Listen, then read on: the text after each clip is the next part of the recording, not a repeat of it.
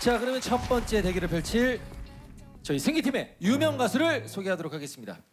길거리 심사단에게 첫 올 어게인을 받은 자유분방 천재소녀 유명 가수 신혜설.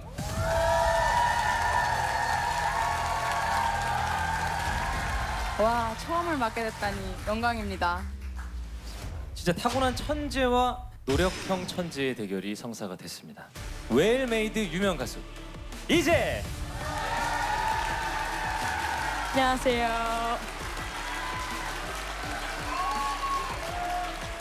아니 두분 같은 경우에는 우리 싱어게인 3 할 때도 한 번도 붙어본 적이 없죠? 어, 만나본 적이 없어요. 네 첫 대결입니다. 네, 해솔이랑 만나본 적이 없어요. 제 해솔이는 제가 처음 봤을 때부터 어, 저 천재는 뭐지?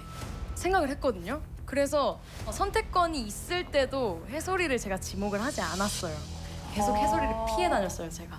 네, 여기서 만나게 됐네요. 와, 전 오히려 언니를 보면서 언니 진짜 밥만 먹고 연습만 하거든요. 그래서 저 연습 괴물은 뭐지? 어떻게 저렇게 열심히 할까? 진짜 무섭다 이렇게 생각했었거든요. 좋습니다.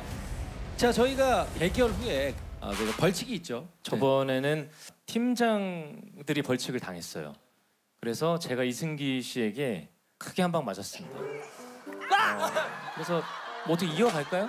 첫 대결 벌칙은? 그렇죠. 뭐 의식처럼 가시죠. 예. 예. 첫 대결은 딱밤으로. 팀장 벌칙을 이어서 가보도록 하겠습니다. 좋습니다. 순서를 어떻게 하실까요? 제가 해솔이보다 4살 언니거든요. 제가 언니잖아요. 예. 그러니까 언니니까 예. 먼저 제가- 해야죠. 해솔이가 먼저 하도록 하겠습니다. 뭐야? 아우 먼저. 예. 제가 오늘 부를 곡은 정말 좋아하는 노래고 엄청난 노래. 부활 선배님들의 Never Ending Story.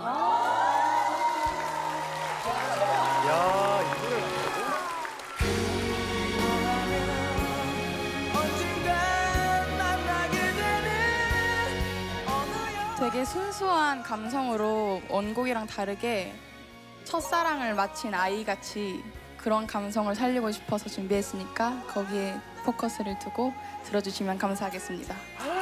너 아, 아.